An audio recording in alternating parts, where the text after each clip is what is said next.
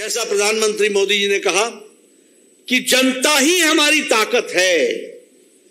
जनता के लिए काम करो, जनता के साथ काम करो।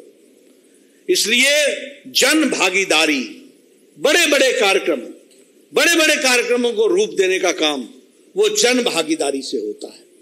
मैं आपसे ये सारी बातें इसलिए कह रहा हूँ कि जब आप संपर्क अभियान पर निकलेंगे तो वह संपर्क अभियान महज एक कार्यक्रम नहीं रह जाना है।